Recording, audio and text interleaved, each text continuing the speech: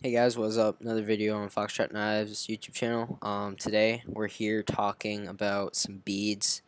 Um, you guys are probably seeing a lot of these bead titled uh, videos, but um, I'm trying to get some sold here um, and out to you guys. Um, so we're going to talk about how you are to buy them and kind of the whole setup. So yeah.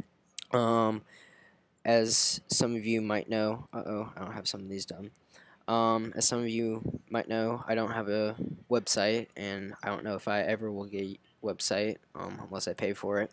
But um, so yeah, here are kind of like the general instructions. Um, all beads are eleven dollars shipped.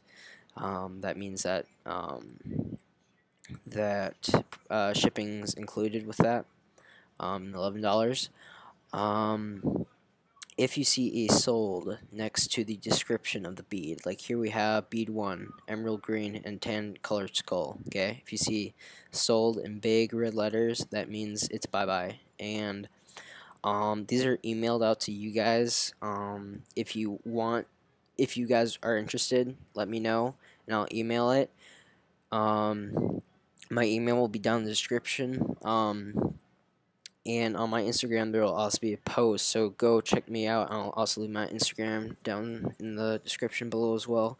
But um here are just some general instructions of ordering um, and we don't have a PayPal set up quite yet um, so whenever that's set up then we'll be able to be able to ship out but there's going to be a wait of choosing your bead and then the uh, shipping of your bead um, all beads are American, are 100% made and handmade. Um, so yeah, this is all legit right here. Um, I feel like I'm missing out some stuff here. Um,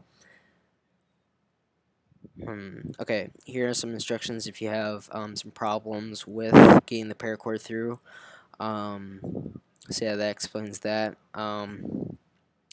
And down here in fine print it says all beads are meant for easy deployment for knives. That means place them on your paracord and they're going to make your deployment a little bit easier and you have something more grip on and also for design.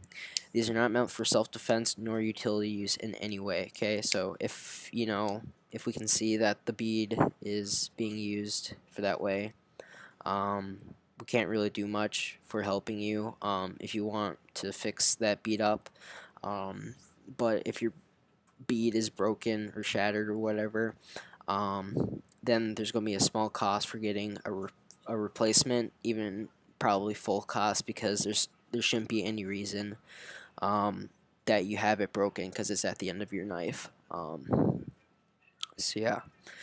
Um, that just kind of explains that shipping, um, a little information behind the beads, um, ordering, and, and this. Um, as you can see, I'm not quite done. This is taking me many hours tonight, and I'm getting pretty tired of it, but it's going to pay off hopefully soon. hopefully you guys chomp at the bits for these. But um, yeah, I hope you guys enjoyed the video. Please like, comment, subscribe, and do that share button down there. That's going to really help us out with these beads. Um, if you have any questions, shoot me an email, which is down in the description below. And yeah.